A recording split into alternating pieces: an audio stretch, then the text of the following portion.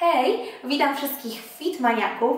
Specjalnie dla Was wymyśliłam nowe wyzwanie, które będzie polegało na wytrzymaniu jak najdłużej w pozycji plank, zwanej również e, pozycją deski.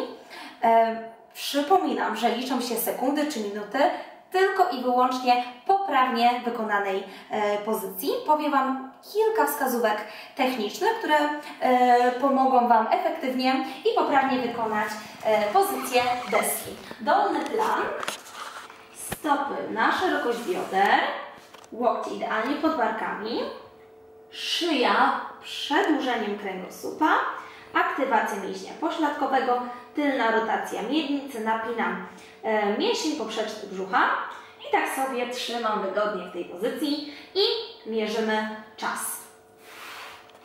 Wyzwanie trwa 30 dni.